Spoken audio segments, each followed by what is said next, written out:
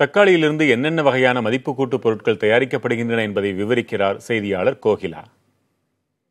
காய்கறிகள்ல தக்காளிக்கு ஒரு முக்கிய இடம் இருக்கு.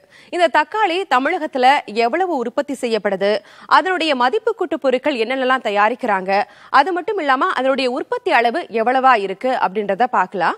முதலாவதா தமிழகம் முழுவதும் ஒரு லட்சத்து முப்பத்தி இரண்டாயிரம் ஏக்கர் பரப்பளவுல தக்காளி சாகுபடி செய்யப்படுது.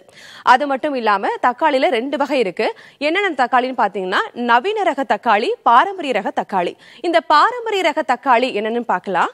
முதலாவதா குழி தக்காளி கொடி தக்காளி அனஞ்சி தக்காளி. இவையெல்லாம் பாரம்பரிய ரக தக்காளி. அடுத்ததா நவீன ரக தக்காளி என்னென்ன அப்படின்னு பார்க்கலாம். கோவன் கோட்டு மருதம் பையூர் அர்க்கா அப்ஜித் அர்க்கா அனன்யா அர்க்கா விகாஸ் பூசாரூபி இவையெல்லாம் நவீன ரக தக்காளி. பொதுவா பாத்தீங்கன்னா இந்த தக்காளி எங்கெல்லாம் விளைவிக்கப்படுது அப்படின்னு பார்த்தோம்னா கிருஷ்ணகிரி தருமபுரி மாவட்டங்கள்ல அதிக அளவு இந்த தக்காளி விளைவிக்கப்படுது. அடுத்ததா சேலத்துல வந்து ஒரு சில பகுதிகளில் இந்த தக்காளி விளைவிக்கப்படுது. அடுத்ததா தக்காளியுடைய மகசூல் அப்படின்னு பாத்தீங்கன்னா வருஷத்துக்கு பதினாறு லட்சம் டன் வந்து தக்காளி வந்து உற்பத்தி செய்யப்படுது. இதுல எண்பது விழுக்காடு வந்து உணவுப் பொருட்களுக்காக பயன்படுத்தப்படுது. இருபது விழுக்காடு பாத்தீங்கன்னா மதிப்பு கூட்டு பொருட்கள் தயாரிக்க பயன்படுத்தப்படுது.